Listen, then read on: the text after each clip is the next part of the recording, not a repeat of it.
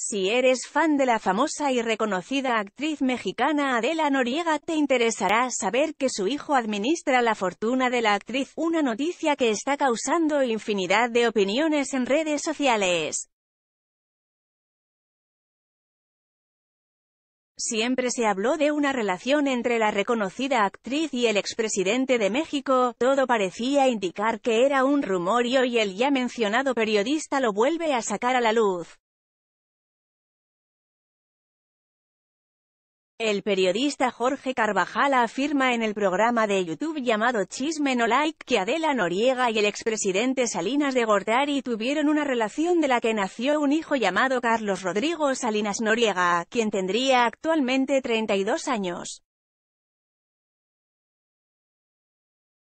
El periodista señala que por años se dijo que el hijo de la actriz mexicana era su sobrino pero hoy comenta que le confirmaron que ese niño que veían en los foros de televisión era de Adela Noriega y el ya mencionado expresidente.